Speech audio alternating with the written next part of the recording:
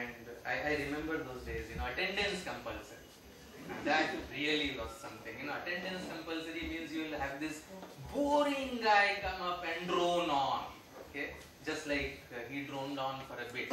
Okay, so what I want you to do is, if you find this session, this session is not a seminar. I think somebody described this as a seminar. This isn't one.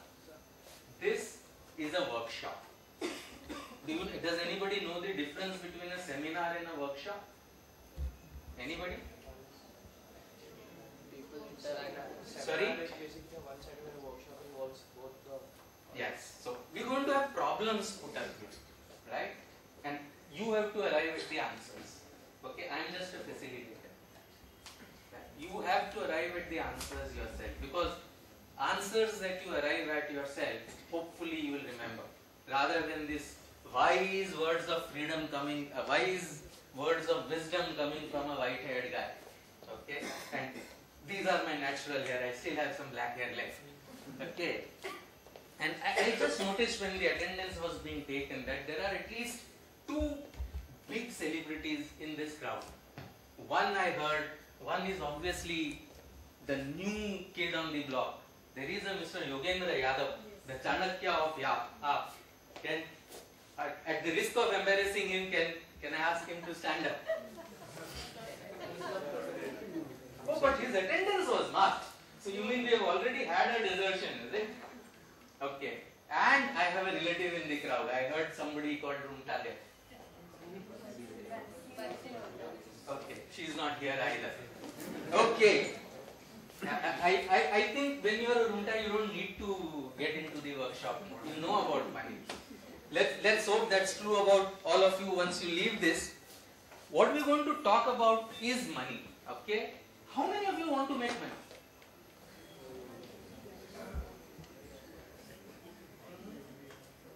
And the rest are going to join up?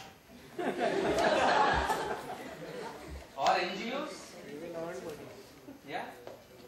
Okay, what we're going to do, we're going to talk about some of the things that help you make friends with money. Okay? And if we learn our lessons right, hopefully you'll be a little more friendly with money at the end of this workshop than you were before. We have a live tweeting, I know, I, I see those thumbs going all the time, right? So you can use them to win a prize. That, that is the hashtag he was talking about. There is this hashtag called Paisa Mera Dost. Okay? Or uh, don't do the Facebook one. If, if anybody of you is on Twitter, you can tweet while this is happening. You're going to tweet and talk and go on messaging your friends anyways. You can do this as well. And for the best tweet, so that is the class participation. Okay? On with that hashtag. Okay? And and the judge is right there. She is going to be judging it, not me. So I mean, when you want to point it out, you have to point it out to her. And please feel free to ask questions, participate, etc. Everything is counting towards the big prize. Okay, this is the first question. How many of you have been to New York? Okay. How many of you have heard of New York? How many of you have heard of Manhattan? Everybody. So Manhattan is the Nariman point of New York. Okay. Uh, do you know? I mean, it used to be obviously the Red Indians owned it way back in 1626 when white men first set foot on that island. 387 years ago. Right? Somebody guess the price at which Manhattan, Manhattan is the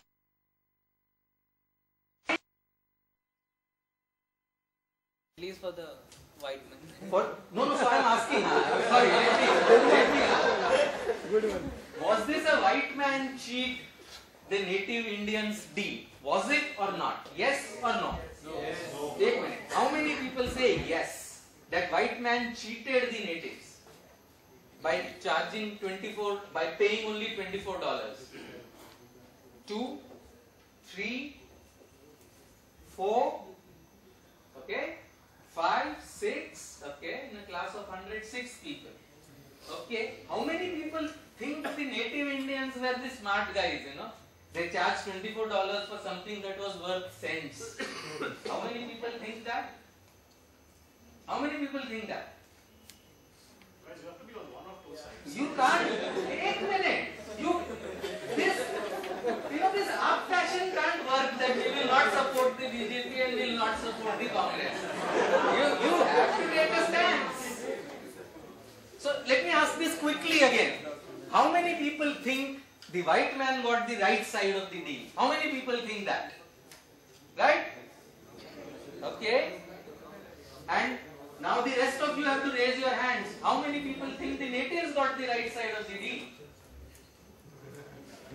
How? We still have a lot of Apites here.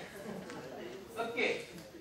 So a lot of people think the white man, uh, more people seem to think that the white man got the right side of the deal than the natives. Okay? Let's see. I, I don't think it was a bad deal for the Red Indians at all. Okay? It wasn't, let me tell you. Okay? And if I was to make that statement, what would be the reason? Can somebody take a guess? Because uh, the immigrants still had to bring up the island of Manhattan, they still had to work in it. Okay? So the, I mean, It was paid for jungles, yes. So it was worth much less. What you're saying is it was worth much less. Basically, that point of time. Just move out of that place. They were just move, paying them to, to get out of this place, we will use this now. Yes? Uh, the land was actually worth nothing because you know now New York is a very important port, Right. very important economic Right. center because of that strategic location. But then it was land. It was just another island there, right? Of course, they probably, and, and I think there were no bikinis then. okay, another way, another way to look at it. Yes. So it can also be that uh, the land where their ancest- ancest- ancestral home, so they did not actually pay the first time to have lived in there. They only gained the money that they uh, Ah, that's a nice thing. Okay. You saying, what he's saying is, okay, they had got it as an inheritance. Okay, hadn't paid anything for it. Okay, so whatever they got was a bonus. Okay, what have, what are you inheriting? What's your name? So you inherit a flat worth 10 crores and you're going to sell it off at 10 lakhs because you paid nothing for it.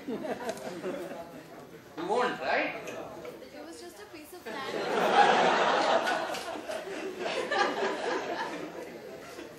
it was just a piece of land that was not developed, and probably they were moving out, so they just said, sold it. And Okay. So let me give you another spin on this. Okay. Just take a guess. If this twenty-four dollars had been invested, okay, at eight percent per annum, okay, how much do you think that twenty-four dollars would be worth today? Take a wild guess. so how many years it was? 1626 1626 to 2013 okay so that you're talking of 387 years 387 years 24 dollars invested at just 8 percent guys you're supposed to work this in your head does somebody have a magic formula for this? Does somebody have a finance? You guys are finance students. Don't have finance calculators. Yes? I, I was wanting a finance calculator. We have the right answer. What's the right answer? I don't know if it's right, but uh, I think we'll divide 24 by.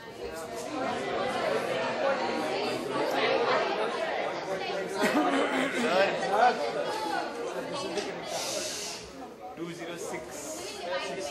Six three five three four. Been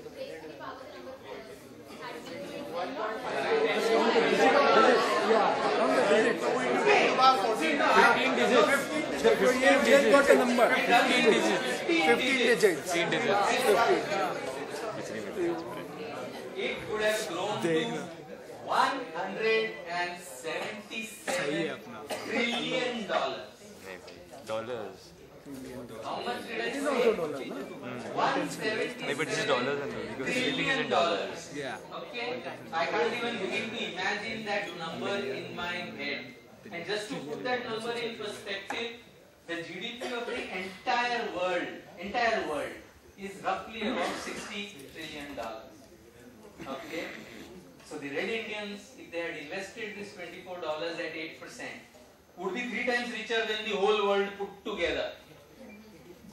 Right? Were they? Are they?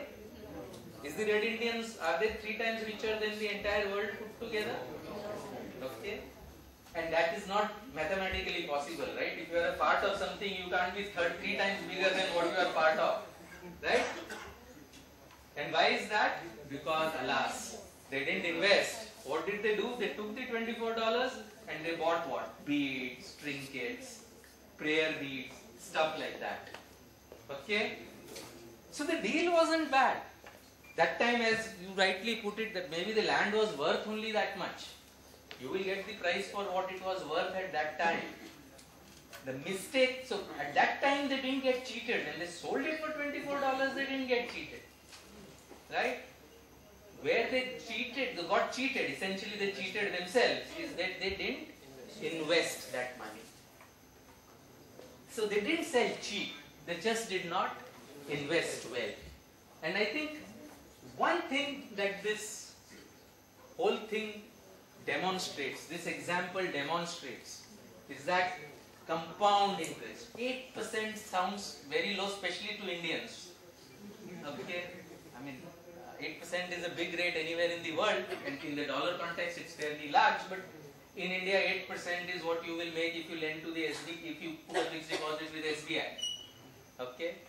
So, that doesn't sound too big to us, but compound, when you say 8, next time it is 8% of 108, next time it is 8% of 108, plus the interest on that, it becomes a very, very large figure. Albert Einstein is reported to have said that compound interest is the eighth wonder of the world. Okay? Not, not really sure whether he actually said it. Okay? Looks good, looks good on a PPT, so I put it on.